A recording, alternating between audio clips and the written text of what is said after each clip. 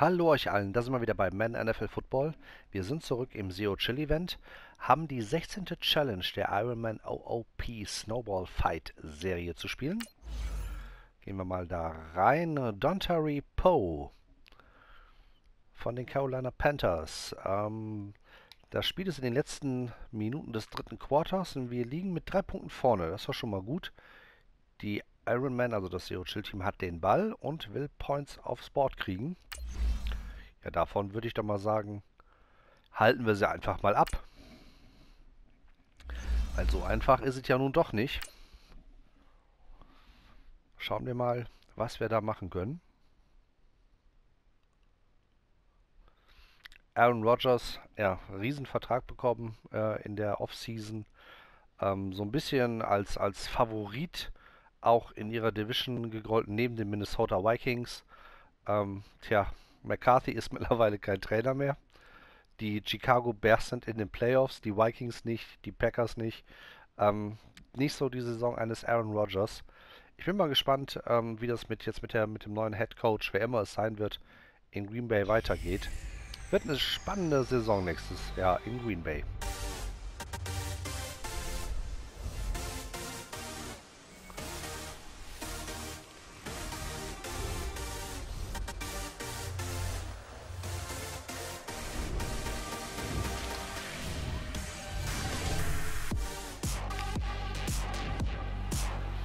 So, Eddie George, Terrell Owens, die Marcus Ware auf Seiten meiner Cowboys, Dion Sanders, Calvin Johnson und die Andrew Hopkins auf Seiten des Zero Chill Teams. Dann schauen wir uns mal die Konstellation an, die wir hier im Genauen haben. Das Zero Chill Team hat einen zweiten Versuch und sieben an meiner 40-Yard-Linie bereits. Sie liegen mit drei Punkten hinten. Wir haben noch 1,45 zu spielen im dritten Quarter. Über die Auszeit müssen wir uns jetzt noch keinen Kopf machen. Das machen wir nachher nach dem 2-Minute-Warning. Zweiter und sieben.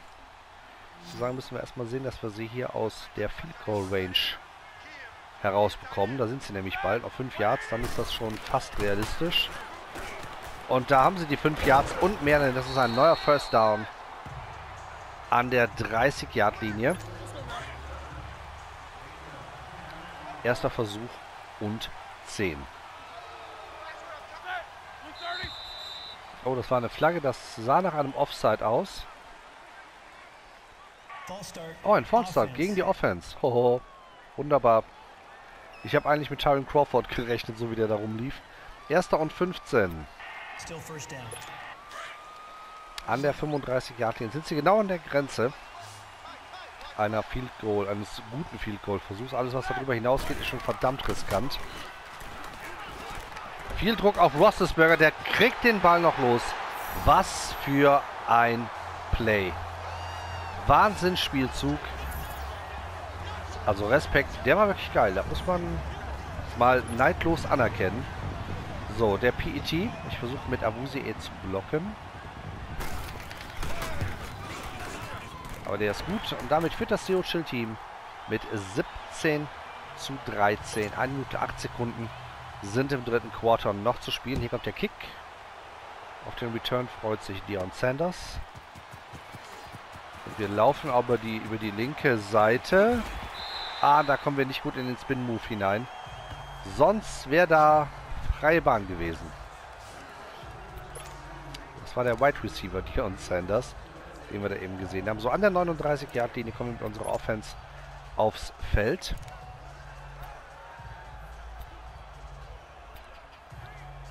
Fangen wir mit dem Tight End Angle an, attackieren die Mitte mit Sharp. Ähm, Owens, wenn er draußen 1 gegen 1 ist, wäre auch noch eine Option. Ansonsten ist Jarwin eine Sicherungsoption hier bei der Nummer. Aber Sharp ist da so alleine und holt ein neues First Down an der 32-Yard-Linie des Zero Chill Teams. Das ging doch mal zügig. Play, Action, Cross, Burst, Cross. Hui, den probieren wir mal. Einfach schon, weil der Name so geil ist. So, ich konzentriere mich auf Sharp und auf Eddie George. Guck mal mit dem einen Auge, was Terrell Owens da draußen so macht. Aber ich gehe auf meinen Tight End. Sichere Nummer, Ball ist an der 13-Yard-Linie. Neues First Down. Schaffen wir noch einen Spielzug vor Ende des Quarters oder läuft mir da die Zeit davon? Ich versuche Slanshot am Mai Cooper.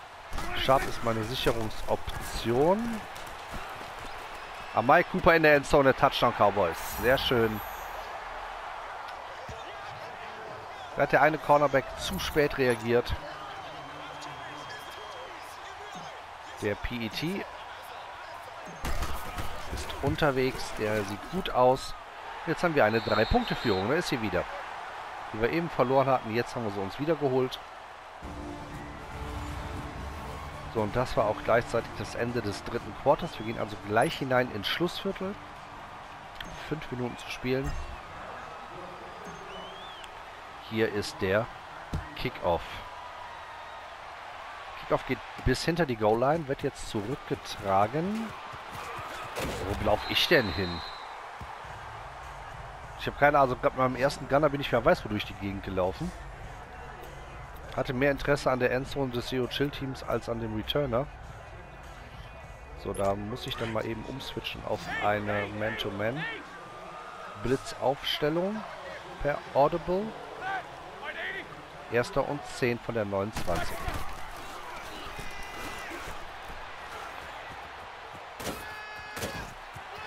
Oh, Roethlisberger ist immer noch auf den Beinen. Riesenrun hier des, des Quarterbacks. Kommt bis an die 47-Yard-Linie. Das war mal ein Mordslauf. Das kennt man gar nicht von Big Ben. Das Problem ist, der ist halt... Big Ben passt halt sehr gut. Der ist halt groß und eine echte Kante. Die kriegt man auch nicht so einfach zu Boden.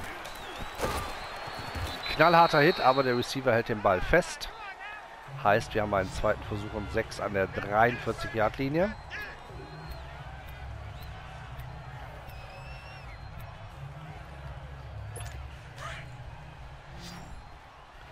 So, wir blitzen weiter.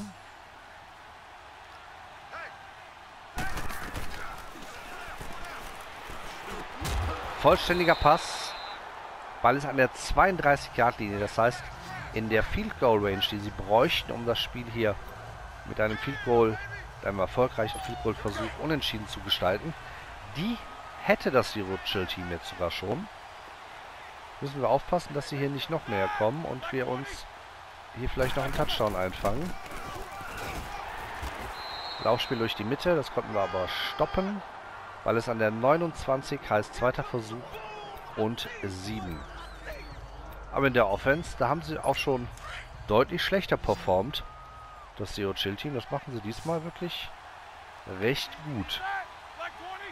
Zweiter und 7. Abgewehrt. Wäre schon kein Risiko eingegangen. Das ist auch dann, man muss nicht immer eine Interception werfen. Es ist manchmal einfach gut, einfach mal die Hand hochzunehmen und den Ball abtropfen zu lassen. Das war genau das Richtige gerade. Dritter und sieben damit von der 29.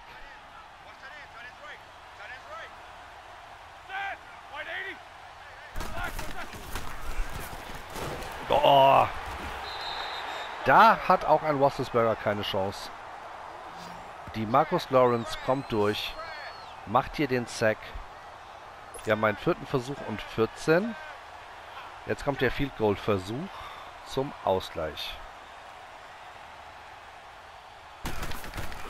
Versucht mit Abusi jetzt zu blocken. Das gelingt. Ball ist frei.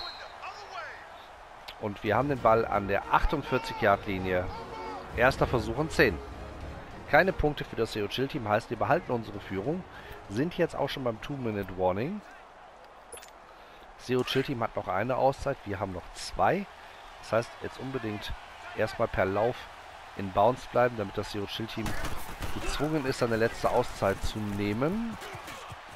Aber ich muss doch mal ein bisschen über die Seite laufen, weil da war ja so eine Lücke. Ein Träumchen. So, da ist die letzte Auszeit genommen von Mike Tomlin. Ball ist eine 33 Yard, wir haben dort ein First Down. Das ist ja schon so ein bisschen äh, so die Field Goal Range, die ich auch meinem Kicker zutraue. Erster Versuch und 10 an der 33. Wir laufen mit Eddie George über die rechte Seite innen. Da ist eine Mörderlücke. Ein Spin-Move und Eddie George ist in der Endzone. Touchdown Dallas Cowboys.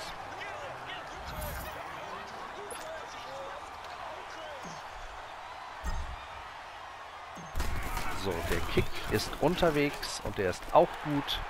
Damit steht es 27 17. Wir haben eine 10-Punkte-Führung, sprich ein Two-Score-Game. Das Zero Chill Team muss also jetzt in der verbleibenden Restspielzeit zweimal scoren, wenn sie das Spiel hier mindestens unentschieden gestalten wollen. Kick geht bis an die Goal-Line. Wird jetzt zurückgetragen bis an die 27. Erster Versuch in 10.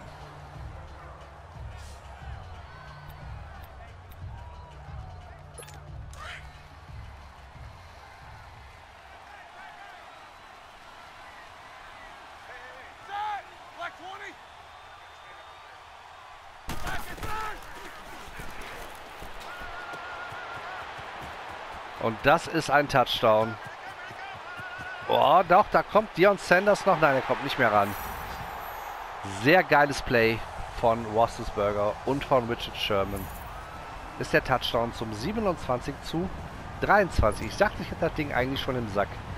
Und dann hauen sie hier so ein Big Play raus. Und es steht 27 zu 24. Jetzt werden sie natürlich einen Onside-Kick probieren um direkt wieder mit der Offense aufs Feld zu kommen.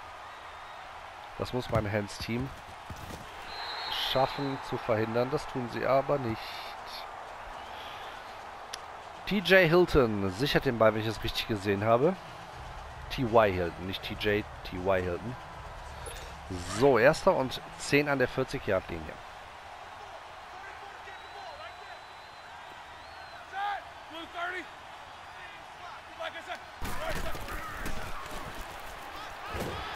Rostersberger unter Druck. Wird gesackt. Zweiter und 20. No Huddle Offense. Aber die Uhr tickert hier weiter runter. Sie haben ja keine Auszeit mehr. brauchen jetzt noch ein Field Goal, um das Spiel auszugleichen. Wieder Druck auf Roethlisberger und wieder hat er sehr viel Zeit. Findet Sanders. Neuer erster Versuch schon über die Mittellinie an der 48-Yard-Linie. Also die Offense-Leistung ist wirklich mal tadellos, die sie hier zeigen. Erster und 10. Vollständiger Pass, der Receiver hält den Ball fest, die Uhr läuft weiter. Das heißt, jetzt stellen sich das Zero Chill Team auf, um den Ball zu spiken. Das haben sie jetzt gerade getan. Heißt, wir haben einen dritten Versuch und fünf von der 43-Yard-Linie.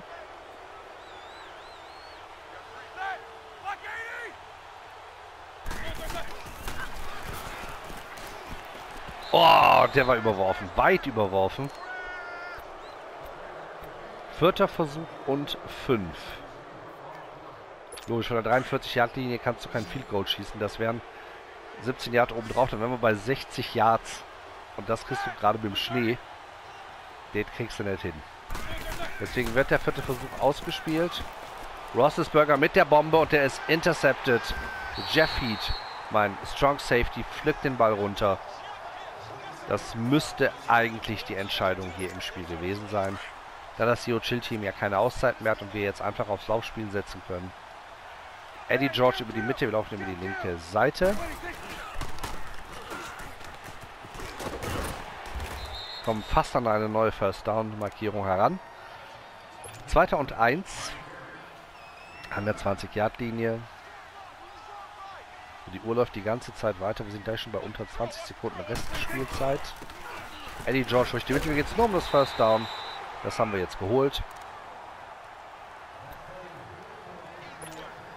So, jetzt haben wir einen neuen ersten Versuch und 10 an der 22-Yard-Linie. Das dürfte jetzt gleich schon der letzte Spielzug hier im Game sein. Eddie George läuft nochmal über die linke Seite. Beziehungsweise versucht es, kommt aber noch durch. Und das war's. Wir schlagen knapp mit drei Punkten nur das Zero Chill Team. Bis zum nächsten Mal. Macht's gut. Ciao.